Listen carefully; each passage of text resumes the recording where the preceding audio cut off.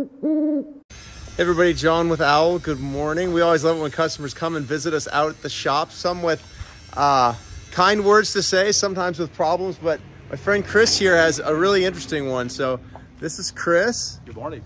And Chris brought his van in. Now Chris is also, you have an airplane hangar. I do. And he's got a Sprinter van with a B2.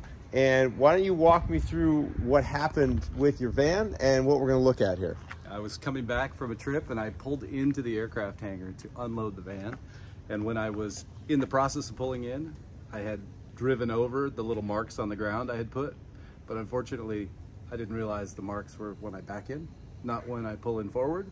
So the back of the van had a little extra too much length. And when the hangar door came down, the hangar door decided to sit on my B2.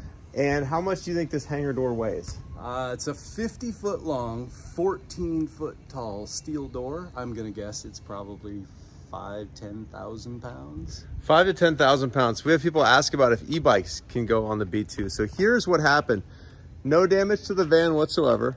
The carrier itself, solid as a rock, somewhere near 10,000 pounds ended up on these posts. In fact, you can see where the door hit right here and right over here. That's not an e-bike. That's an entire 50 foot airplane hangar door. So you can see there was some bending here. We didn't even break any welds.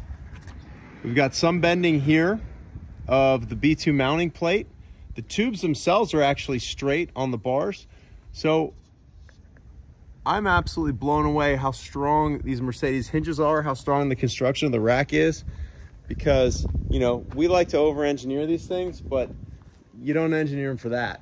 So, um, you know, he's actually going to use this B2. Obviously, we never encourage people to use things that are damaged, but we've looked at it and, and, uh, it really doesn't look bad. So from a carrier standpoint and from a van door standpoint, it seems to be like it's, it seems like it's going to be all right. And you had another car that got hit by the same door. This seems to be a, Yeah, a- a- an issue you have. So That maybe we throw up some photos of that. Some issues in the past. a few years ago, the door came down and actually closed on top of the passenger door of an SUV, and bent the Mercedes door almost off, but uh, crushed the door.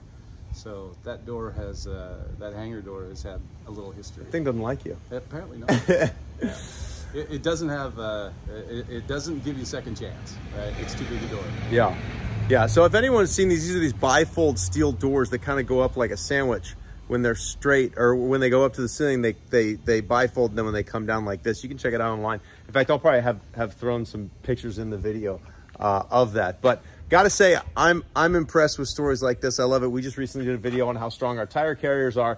I guess now we can use this as an excuse to do a video on how strong the B2s are. Yeah. Good time.